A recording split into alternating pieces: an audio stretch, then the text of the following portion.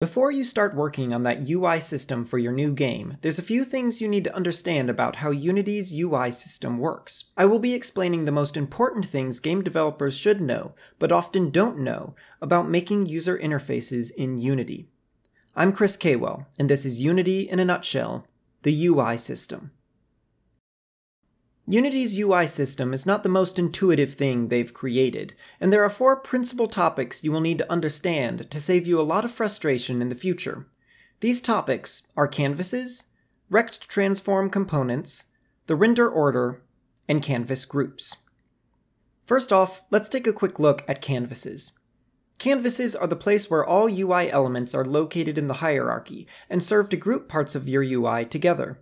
Your first canvas will be automatically created once you add your first UI element to the scene, and you can ignore almost all of its fields when you're just starting out. However, the one important field to understand is the render mode, which basically determines how and where Unity will render your UI. We've got three options. First off, Screen Space Overlay renders your UI on top of the screen, so changes in resolution or size of the display window will change how your UI looks.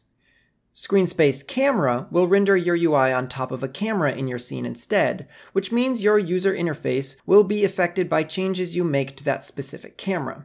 This also means it will only be rendered in that camera view, and no others.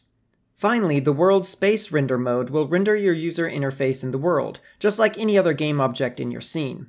Notice how you can now change the rect transform fields of your canvas when you use this render mode. These options are great, but we're going to stick with the default one, Screen Space Overlay, for this video since it's the most commonly used for simple user interfaces. Now let's take a closer look at the Rect Transform component. I'm assuming you already have some experience with transform components on a regular game object. Unity's UI elements instead use Rect Transform components, which are very similar but have a couple notable differences. First off, they contain anchors, which are most easily set via the Anchor Presets window. Anchors are how you tell Unity in what part of the screen a UI element is supposed to be. This way, Unity can properly position your UI even when played on different monitor sizes and resolutions. Does your game have a health bar in the top left? That UI element should probably use this preset. Are you making an FPS with crosshairs in the middle of the screen? Then the center preset will make the most sense. If you've never used UI anchors before, they can seem a bit overwhelming, but it's easier than you might think. Just make your best guess for each element, and it will probably be the right one. Now the most important thing to understand about rect transform components. Width and height versus scale. To understand this difference, you need to understand what a rect transform really is. Here's one of the best descriptions out there. The rect transform component is the 2D layout counterpart of the transform component, where transform represents a single point, rect transform represents a rectangle that a UI element can be placed inside. Because a rect transform represents a rectangular space instead of a single point, it has a width field and a height field for you to define the space's dimensions. This is a great way to size and shape your UI elements in relation to each other. Scale, on the other hand, changes the actual scale factor of this object and any child object. If you have UI elements with various scale factors, you may need to perform more complex calculations to get them to act consistently with each other. An example is an item that should follow the mouse when dragged. This calculation is easy if your scale factors are all 1, but change those scales and things can easily get out of hand. If all of that was a bit confusing, I recommend leaving the scale of your UI elements at 1 unless the width and height fields aren't meeting your specific needs. That should be enough for you to start working with rect transforms. So let's now take a look at how Unity's UI render order works. Render order is basically how objects appear in front or behind other objects. Higher in the render order means an object will appear in front of other objects that are lower in the render order. For Unity's UI system, this order is defined almost entirely by the scene's hierarchy, UI elements are rendered from top to bottom, meaning that the last item in the list will be rendered in front of all others.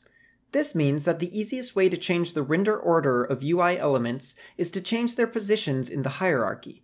This can even be done dynamically with code, using the methods setParent, setAsFirstSibling, and setAsLastSibling. However, if messing with the scene hierarchy isn't an option for you, then you can create other canvases to split up your user interface. Any child canvas that you create will feature an override sorting option, which will allow you to manually set the render order of that canvas's children in relation to the rest of the UI.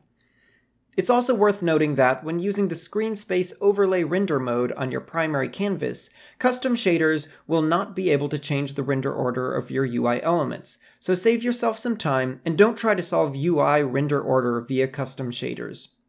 Finally, I want to briefly mention canvas groups, which can save you a lot of time and frustration if used correctly. The Canvas Group component allows you to manually set a few key fields for a group of UI elements, which consists of the current element and all of its children. The alpha field sets the transparency of the elements, and the ignore parent groups field allows you to override any values set by canvas groups further up in the hierarchy. These are both pretty self-explanatory, but the other two fields can cause some confusion. The interactable field is how components such as buttons and input fields determine if they are enabled or not. Turn this off, and all child buttons will turn gray and refuse input. On the other hand, the block's raycasts option determines if the group can be detected by rays fired from things such as mouse clicks and drags. Notice how turning this off keeps me from being able to click the button, even though the button is still technically interactable and not grayed out. If it seems weird to you that these two options would be separate, here's a couple simple takeaways. If you can't click on some of your UI because other parts are blocking your clicks, bundle up those interfering elements behind a canvas group that ignores raycasts. If instead you want to keep your player from using an entire set of buttons, scroll bars, and drop downs, put them behind a non-interactable canvas group. And just so you know, canvas groups aren't just for groups either. It's also perfectly fine to use a canvas group on just one UI element, if it fits your needs. I hope this brief tutorial clears up some confusion and helps you create dynamic and intuitive user interfaces the right way the first time. Thank you for watching.